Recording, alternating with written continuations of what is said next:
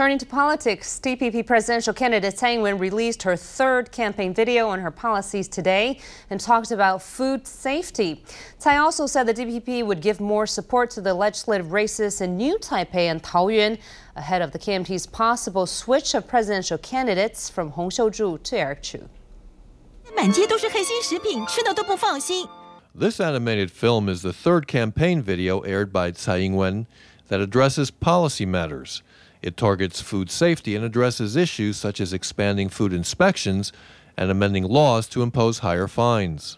蔡英文嘛，我讲呢，现在茶叶黑心食品的预算哦，真的很少啦，所以经费跟规模都要提高十倍。Tsai also issued a warning to her potential opponent Eric Chu, who many believe may soon replace Hung Hsiu-chu as the KMT's presidential candidate.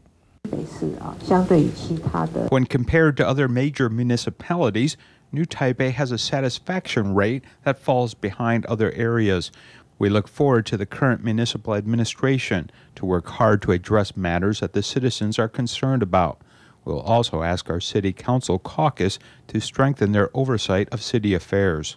Tsai's comments shows she's ready to do battle with Chu should he become the KMT's presidential nominee.